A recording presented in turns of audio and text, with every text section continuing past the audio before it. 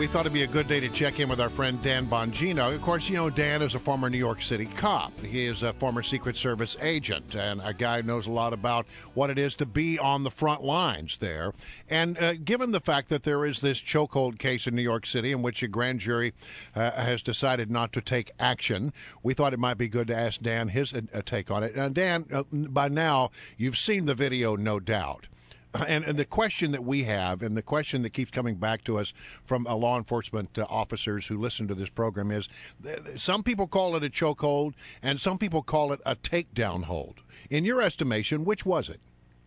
Well, this is important because it's not a distinction without a difference. There are basically three things you have to keep in mind here. There's what's called a, a windpipe choke, which is absolutely banned. That's a form of deadly force that would be in effect placing the blade of your your lower arm, the bone, up against someone's windpipe.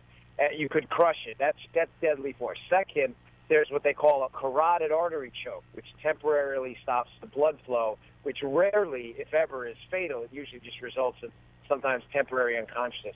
Third would be a headlock, like which is basically just grabbing the head and taking someone down.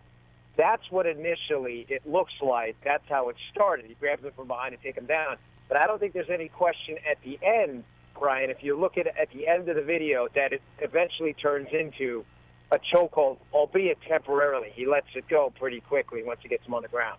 All right, so you think it's a combination? Initially, a takedown hold, right? And right, it, and it's that's important because he, he it doesn't look like in, in the initial part he's attempting to choke him. It looks like he's attempting to take him down, but I don't know if he panicked. Again, I wasn't there. I don't know what was going through his head but it looks like he may have panicked given the guy's size and then just instinctively went for this this choke, and, and that's where I think the trouble started. Well, and, and given that, uh, Dan Bongino, when you see that video, and obviously you have, and you've you you you have uh, some doubt as to what ended up happening here.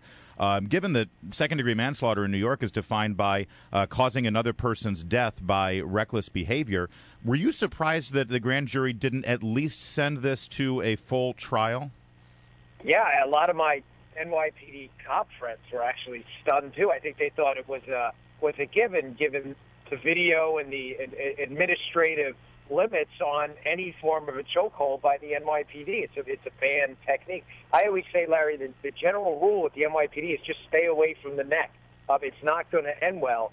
And they had charged such a bevy of charges from reckless endangerment at the low end up until uh, I think manslaughter that yeah, I was kind of surprised they they didn't have an indictment. Remember, it, it's not beyond the reasonable doubt. The grand jury, right? It's only probable cause. Yeah, I agree, and I was surprised. You let me ask you this then, as a former uh, New York police officer. Um, you know, you got a situation like this. The guy, I mean, he was a very large man, close to 400 pounds, six foot five, I think he was. Um, the cops obviously had him outnumbered, but he's still a big guy. What what is a cop to do in, in this situation? Yeah, what do you do in a situation well, like that? That you guys just asked the you know sixty four million dollar question, and every single media head I've been asked if you're, you're going to look at it fairly from both sides. I just gave you the you know the family side. Yes, he, at some point it looks like there was some form of a choker that was banned, but from the police officer's side, when when when Garner says not today, I'm not doing this today, and puts his hands up and it doesn't look like he puts his hands up to surrender. He puts his hands up because he doesn't want to be handcuffed. Uh, what do you want them to do? I mean, remember, they were answering what was called a radio run, meaning they were sent there. They didn't initiate this. Someone called the police, Central, what they called 911, and they sent the police officers to the scene, whether to get rid of him or whatever it was. I don't know what he was doing. But you can't just call back Central with a disposition and say, hey guys, he doesn't want to come in. So you have to see it from the cop's perspective yeah. as well if you want to give a fair analysis of what happened. All right, so you know I, I, the thing that I came to is is we don't know uh, what led. We've seen the video, but but we don't know what happened before the video, and we don't know the history of this particular individual. I mean, did these police officers know this guy? Was he known to the local police on the beat? Had they had trouble with him before? Did they have reason to believe it was going to be a real struggle? I mean, these are all things that we don't know because they didn't, as they did in Ferguson, release all the information that was presented to the grand jury. Yeah, that, that's a, a, a great point. He says at one point, Garner, to one of the police officers, you know, I'm tired of being harassed. Not today, indicating that there is some form of a history there. And then keep in mind, you know, guys, the grand jury proceedings are always going to be secret, so we don't know what happened in there. Uh, I don't know if that was part of it. I, I can't say, but you're you're you're absolutely right. Clearly, there's some history there between uh, Gardner and one of the cops on the scene. So, uh, did it contribute to it?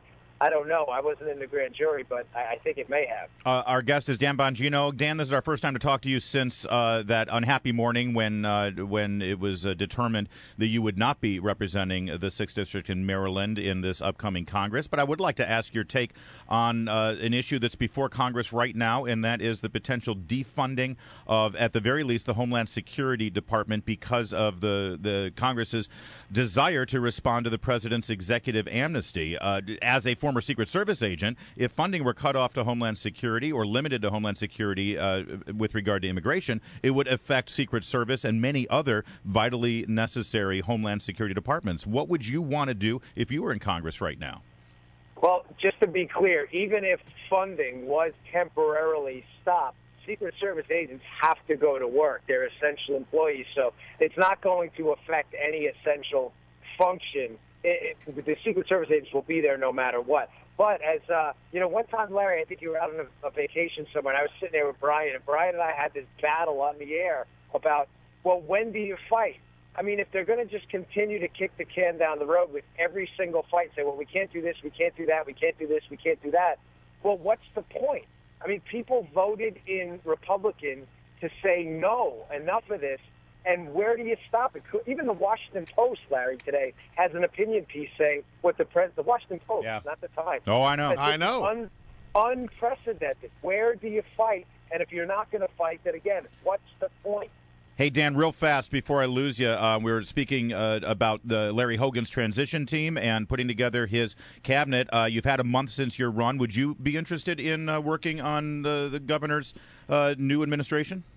Well, I've never given you canned answers, but can I give you one now? No. I would. Be, I would be honored to be uh, called, but I haven't spoken to them about it. But there's my first canned right. answer on WMAL. I like that. By the way, happy anniversary! It was just a year ago when we shaved your head, so I love that. Is that right? Yeah. I love it. Thank A year ago last week. All right, Dan. I, I kept the hairstyle. th- thank you so much. Good to have you, my friend. Thanks, guys.